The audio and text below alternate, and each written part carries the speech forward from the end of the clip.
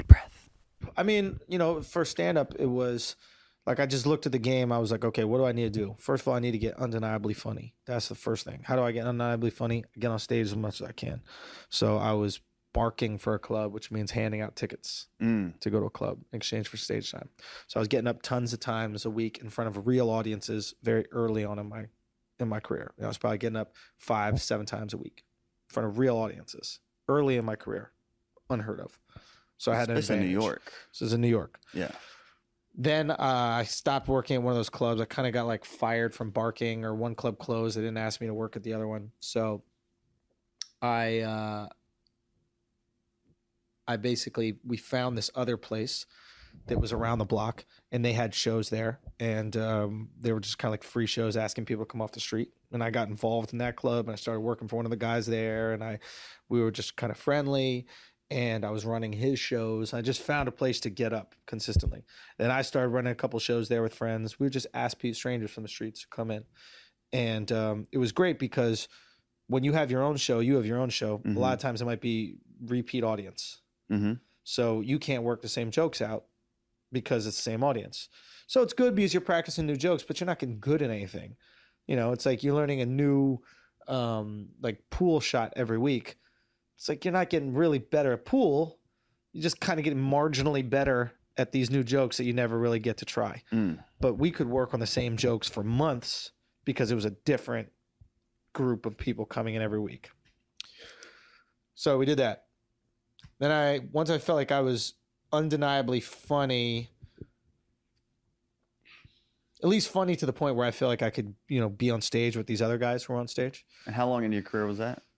A few years in, I mean, I mean, now I would look back and be like, "Oh, I was awful," but for the time, I was able to go, you know, I'm I, I, I'm good enough to be on the stage with these guys Mm-hmm. and uh, I was like, why are they on the stage?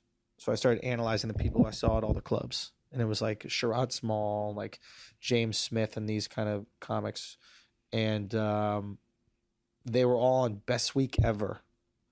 And I noticed all the comics who are on Best Week Ever were performing at all the clubs. Christian Finnegan, and I was like, okay, I need to get on a show that is a weekly show that will give me some leverage. So now, because it's not just about funny, it's like if you're as funny as all the other guys, okay, you got to be funnier than them and have something. So I got on uh, Guy Code, and that was my weekly. Now I had some leverage. Now I could go to a club and be like, "Hey, I'm on a TV show every week. Can I get on?" Yeah. How do you how'd you get on Guy Code? I uh, Make it sound so easy. uh, yeah, it was. It, it was. It was kind of. There was some. You know, one of the good things is like knowing what you want to do. Mm. So like I I did a New Year's Eve show, like one of those countdown shows for MTV. So I got into the MTV door. They really liked me, so I um, had a meeting with them. I was pitching a show, which I ended up not really wanting to do, but at least like the person saw I was interesting. Uh, and then while pitching it, uh, she asked me like what my thing was, and I was just like, ah, I just you know I got a guy's perspective. I got an unapologetically male, and you know this is how I feel, and I'd like to be the voice for, you know, for uh, for men nowadays. And I feel like they don't really have a voice. And all of a sudden, Guy Code came down the pipeline, and she remembered that meeting. She's like, I'd like to suggest a guy. Now, had I never said what I truly want to do, maybe I would have never got that meeting. Right? Most people, I think, put this wide umbrella, this wide net, but the net is so wide it never catches anything. Mm. You know what I'm saying? If you say specifically what you want to do to people, when a project comes up that's specific, they'll think about you for it.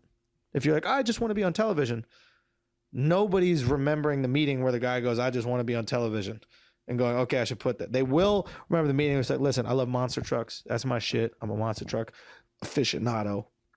If a monster truck show comes on, they can be like, I remember meeting this guy who's into monster trucks.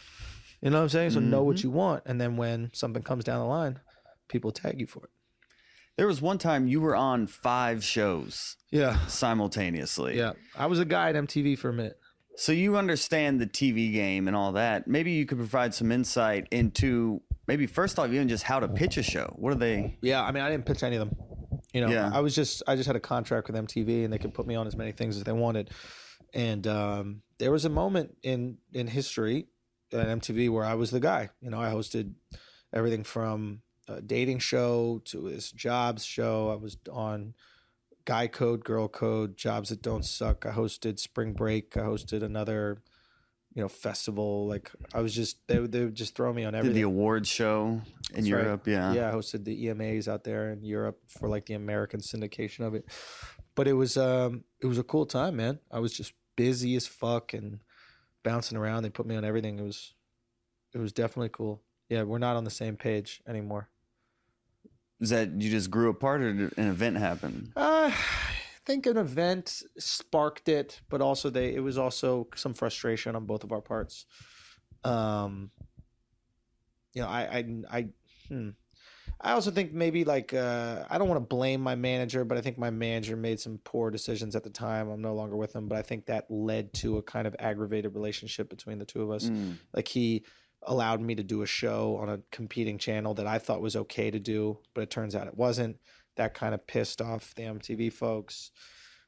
But after we already had a little bit of a, you know, kind of tumultuous relationship, I, I didn't want to do any more corny shows.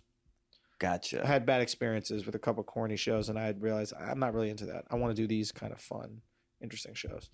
And um, they also wanted to make a show kind of based on Brilliant Idiots, and I felt that that was our entity and our project, and they kind of felt like since they introduced me and Charlamagne that they owned it, not owned it, but like were entitled to it creatively in Mhm. some way. And I was like, nah, fam, that's not what it is so that show ends up being uncommon sense Hot breath.